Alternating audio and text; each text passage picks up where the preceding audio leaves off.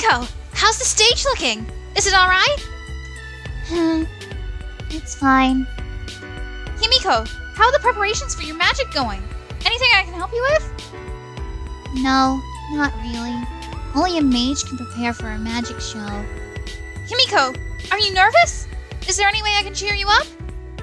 Eh, that's my line. Why are you more nervous than me? How can you tell? I'm just so happy that I get to help you. You wanna help me, then calm down. Use big smells like this, I gotta focus. I'm sorry. I won't get in the way of your big spells. Uh, I made you mad, but I'm a little happy. You're showing me way more expressions than you did in the beginning. And you're only like this to me. No, I'm like this to others too. Uh, you could have said it was just me. Please, you're always so weird. Yeah? Himiko, you smiled. Or more like, I made you smile just now. Oh god, your smile was too cute. What? Don't over exaggerate because I smiled a little.